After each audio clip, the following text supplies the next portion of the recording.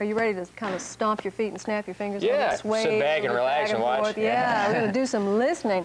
You know, Bernie, Bernie's uh, listening to some blues music, and we're going to join along in just a second. Bernie, how would you define blues? Well, it's very difficult to define, uh, Brenda. The only way you can define it is to listen to it and enjoy it. And you don't stomp your feet when you listen to the blues. You kind of sway. When we come back, more about the Richmond Blues Society, and we're going to listen. Baby,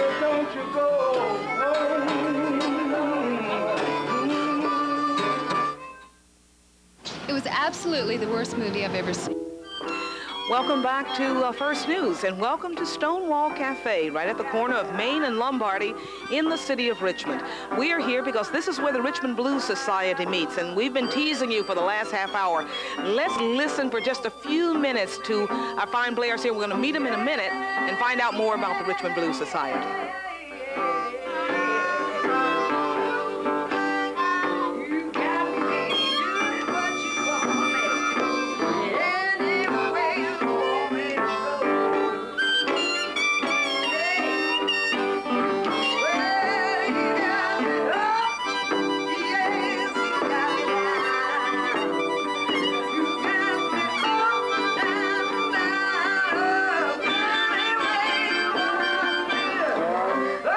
I told you, you cannot just, you gotta sway a little bit when you listen to the blues.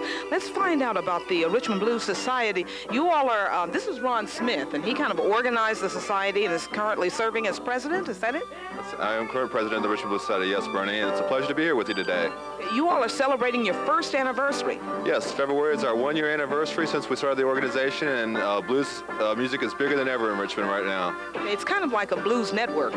Yes, we uh, provide a network of communication for blues fans and musicians here in Richmond, and also we correspond with other blues societies all across the nation. And more blues in the area where people can go and, and sit down and just listen to Delta Blues is what we're listening to, right? Yes, we uh, we provide three different jams here in Richmond. Uh, we do Sundays here every every Sunday here at Stonewall Cafe. We also do Wednesday nights at Pappagallo's in the West End, and Monday nights at uh, South of the James Cafe on South Side.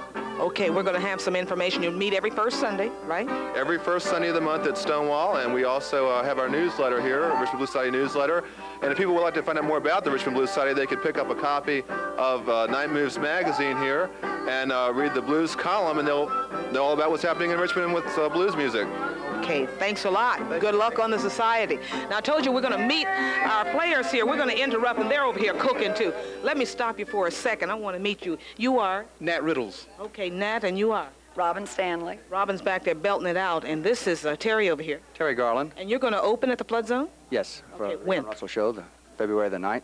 Okay, and you got a mean foot there. That, that's nice. And you are? Keith Owens. Keith Owens. Okay, let's hear a little more of the blues. These are all accomplished professionals, by the way. Let's listen a little bit.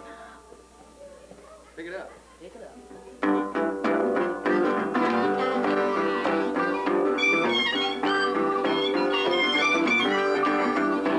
Here's your information on the Richmond Blues Society.